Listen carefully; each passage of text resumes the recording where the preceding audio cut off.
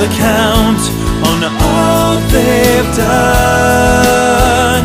And if your name's not found in the book of life,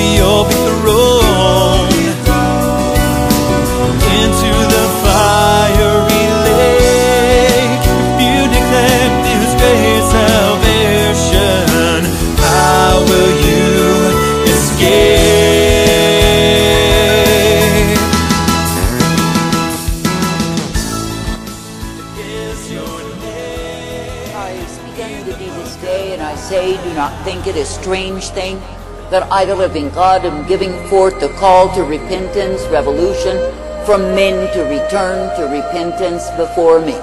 For I say, if you consider that men have grown to the place where they are so proud, so arrogant, that they do not need to repent, what have they done? I say they've taken a place whereby they are separated from me, separated from the truth, the light, the strength that I provide. And I say in so doing they prove they are not worthy of me. For I say there is no way that a man can enter in and abide in my presence if he does not repent.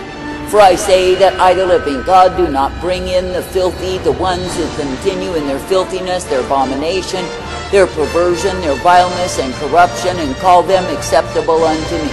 But I say, if a man will repent that is turned from his wicked ways, and walk uprightly in me, then I say that he is well pleasing. But I say, when men will estrange themselves from my way, what do they do? I say they go in a way that is reprobate, they go in a way that is vile and corrupt, and yes, they think they are fine in the same. And I say it is because they are living under the delusion, the confusion of their own minds and their own darkened understanding. But I say when a man will be repentant of his sin and see that he must indeed walk uprightly in me, then I say that he is well pleasing. For I say that he has become receptive to that which I, the living God, desire and require in my own. Now I say you are living in a time when men have rejected the cornerstone of repentance as they rejected me. That is, they were meant to be accepting me and building according to my dictate, to my desire. But I say the very ones who claim that they were my people were found to be rejecting me. That is, not accepting what it is that I came to bring them, which was and is the way of eternal life. Now I say if you consider that in this present age that men have grown so bold that they have rejected repentance. That is, the ones who are claiming that they are my people have turned away from the principle of repentance and said there is no need for the same. For I say they have built according to their own understanding, and I say their building is faulty. And I say it is me, the living God, who will through my wrath bring down their building of falsehood, that men could be free to repent once again. For I say that men are men to repent in order to enter into and partake of my kingdom. And I say if they do not repent, then I say they are none of mine. For I say it is not according to the dictates of men, it is not according to the understanding of men, but I say it is according to the mind of my spirit that men are found agreeable unto me. That is, if men will thoroughly repent, amend, and change their ways and come forth in the newness of life that I provide, then I say they are approved of me. But I say when men will think they may sign up for membership, that they may give their offerings and be found acceptable by their attendance, I say that it is not true. For I say it is not in the organizations of men that men are found agreeable unto me, acceptable unto me, but it is by repentance before me. That is, by thoroughly amending and changing their ways, by coming forth in the newness of life, that I provide and being made glad for my way. Now I say this day that I, the living God, do not call thee to walk according to the dictates of men and their organizations, but I say that I call thee to walk according to the dictates that I provide. That is the truth, the light, the strength, and the mercy of who I am, being ever made glad for my way. For I say it is indeed a privilege to be directed, corrected, and guided always, for I am the one who is able. And I say it is indeed a privilege to partake of the blessedness, the truth, and the light that I alone can provide. Now I say this day that I, the living God, have called thee to come forth in the truth, the light, the strength, the mercy, day by day. And I say that I have called thee to be uplifted in that which I give thee, which is the truth and the light upon the path. For I say, when you will indeed be rejoicing in me, partaking of me, and being brought forth by me, then you are well pleasing. But I say, when you choose the way of the stubborn, the proud, the wayward, careless fools, you are choosing the way of death. Now I say this day that I, the living God, have put forth the call, continuing to put forth the call to repentance revolution. That is, to any and all who will have an ear to hear and obey my command to the sons of men. For I say that I, the living God, am eradicating, demolishing, and tearing down the buildings that men have put up in order to establish their own way.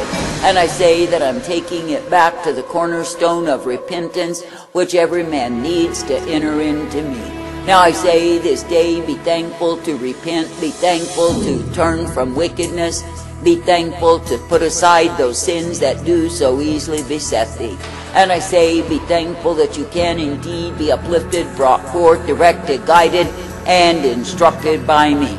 For I say it is me, the living God, and me alone you are meant to seek, to please, to obey, and follow after.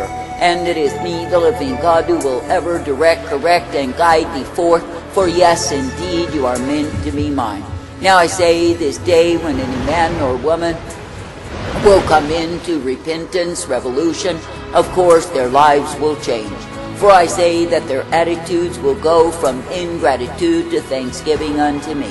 That is, their eyes will be opened to behold how much mercy I've given unto them and continue to give. That is, because it is me, the living God, who is indeed the way of mercy provided for all who repent before me. Now I say this day when you appreciate what it is that I do for thee, I say you will not be quick to scoff repentance, but I say you will grow to understand and appreciate how important it is unto me. That is, that the ones who claim that they are my people would stay in the mind of humility before me. That is, that they would be subject to the way that I offer, the way that I provide. Now I say this day that I, the living God, am indeed calling forth the ones who will be repentant, the ones who will change and amend their ways. And I say that I am indeed calling forth the ones who come under the covering of repentance, revolution, and rejoice for the same. For I say, when men are proud and arrogant, high-minded, and deceived by their own conceit, I say they will scoff and mock repentance. That is, they will think that it is some old thing from another age that men have no need of today.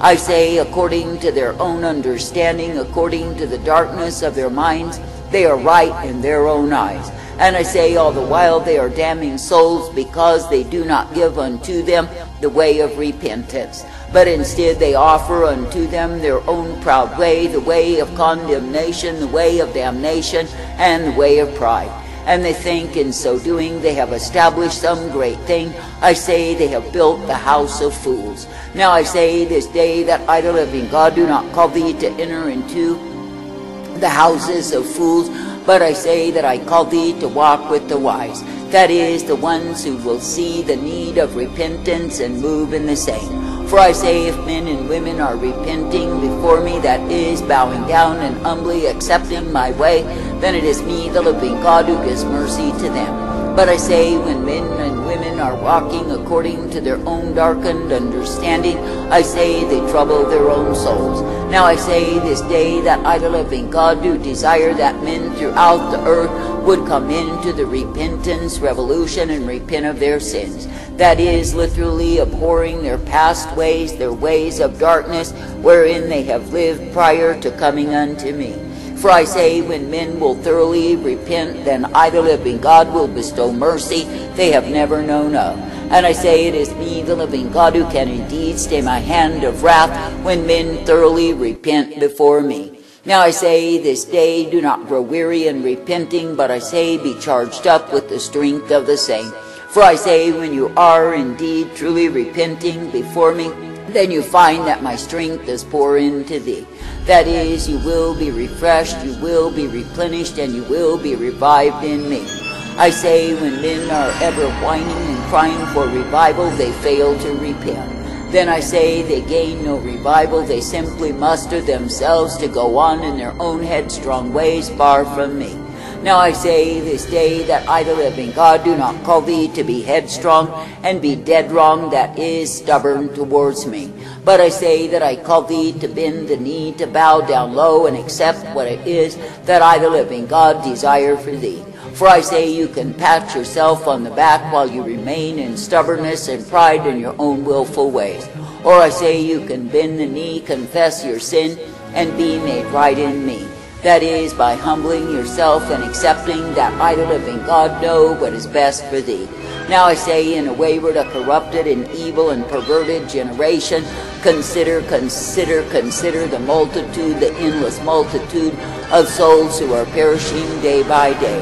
That is because they have been shut off to the truth of repentance and they do not even know the same. But I say in this time as you pray for repentance, revolution, and partake of the same your own selves, it is me, the living God, who will hear your cries. And it is me, the living God, who will indeed overshadow men and women by the power of my Spirit, calling them to repent. That is, even if they've been shut off from repentance by false teachers and liars, it is me, the living God, who can indeed penetrate and cause to fall down the wall of stubbornness that keeps them in captivity and slavery to sin. And I say it is me, the living God, who can indeed cause them to be set free to run into me. Now I say this day when you hear of a soul that has repented, I say be thankful for the same. For I say it is indeed a wondrous, a blessed thing to see men turn and change from their wicked ways. And I say when souls repent, I say there is joy in heaven over the same. For I say that repentance is indeed the way of entry into my kingdom, and it is only through the same that men will come forth in me. I say this day be thankful for the time of repentance, revolution, for I say it is indeed the time of refreshing, it is the time of reviving, and it is the time of replenishing in me. And I say, give yourselves wholeheartedly unto the effort, and yes, your strength will be increased in me. For I say, it is me, the living God, who is able to strengthen, to bring forth, to uplift, to guide the ones who give themselves over unto me. Now I say, in a wayward, a vile, a corrupted, and evil generation, be thankful that by the living God, have stopped in my wrath in the sense that I put a stay upon what it is that I had prepared to bestow upon those who will repent my mercy. For I say that I, the living God, am indeed the God of wrath, and likewise the God of mercy. Now I say that if I chose to utterly destroy humankind, I would be justified in the same. But I say when I choose to show mercy, by giving men a chance to repent, I say I'm justified in that likewise.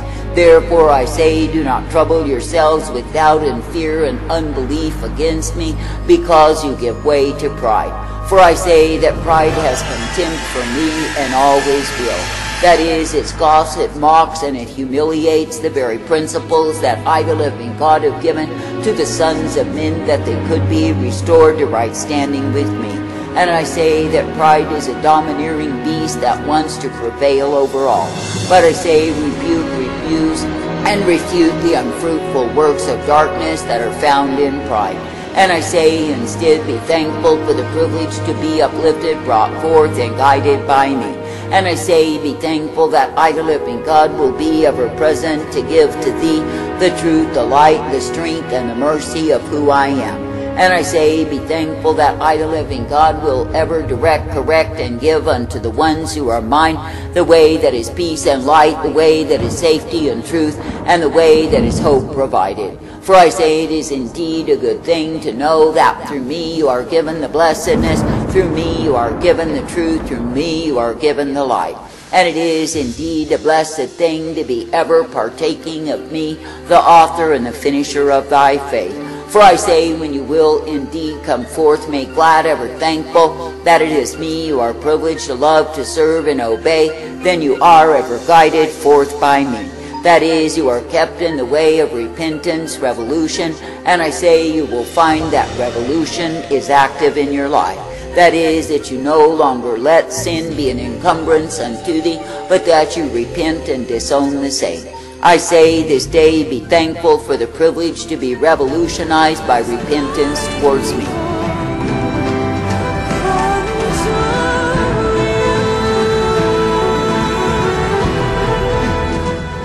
Luke 13. There were some present at that very time who told him about the Galileans whose blood Pilate had mingled with their sacrifices. And he answered them, Do you think that these Galileans were worse sinners than all the other Galileans because they suffered in this way? No, I tell you. But unless you repent, you will all likewise perish.